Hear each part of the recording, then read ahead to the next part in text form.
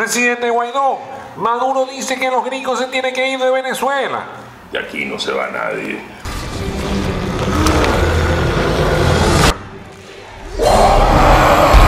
¡Mira! Aquí no se va nadie. carajo!